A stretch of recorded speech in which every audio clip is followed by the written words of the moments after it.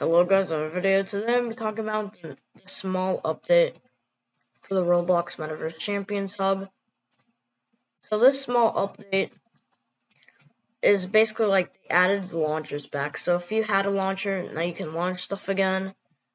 So don't worry, you can still launch stuff now because they added it back. I think it was a glitch because it says because the launchers were supposed to expire in like six hours from now but it expired early, so I don't know if that was a glitch, but if it was, then it got it got patched and now you get the launchers back. And they also updated the the like hub a bit by putting like pink balloons, like basically making a party that sparks kilowatt one.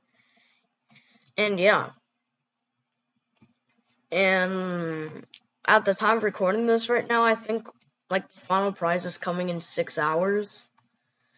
But that's basically all I gotta say for this update. If you guys are excited for the final prize and the and for these crates to open, make sure to subscribe and peace out.